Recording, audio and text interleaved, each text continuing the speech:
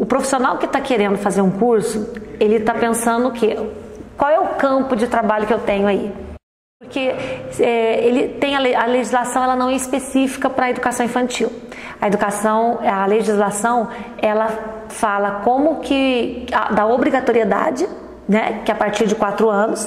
Muitas escolas hoje, principalmente as particulares, recebem crianças é, menores até de um ano precisam de pessoas que entendam de, de criança, que façam pedagogia, magistério nessas áreas. E só estagiária não dá, né? A pessoa tem que ter uma habilitação, ela fazendo essa monitoria, ela vai saber como ajudar a professora e, e vai continuar estudando. Então, na primeira oportunidade, ela formando, que, na primeira oportunidade que tiver na escola, ela assume uma sala de aula. Em termos salariais, o professor ele tem um salário X, não vou falar o valor porque depende da escola, depende do se, ela, se a escola é municipal, se é particular. Então a professora tem um salário X. A monitora ela ganha mais ou menos em torno de 60% do salário da professora. Qual é o seu trabalho em resumo? Você não pode levar serviço para casa. Muitas professoras dividem o serviço com a monitora. Não pode.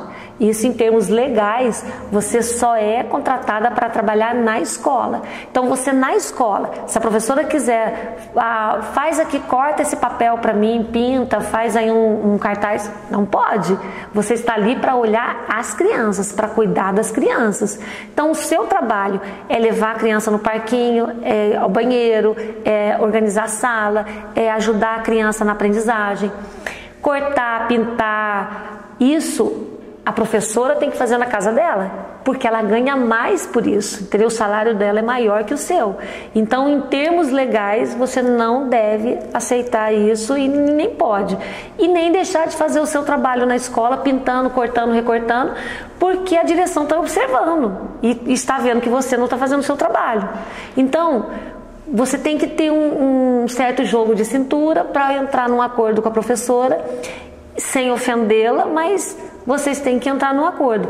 Posso te ajudar? Posso, mas tem que ser em algum outro horário que, que não atrapalhe ali o andamento da escola. As crianças estão dormindo, está na hora do descanso. Você pode cortar, pintar, ajudar a professora, sim. Mas enquanto as crianças estiverem com você, você não pode fazer nada que não seja com esse aluno.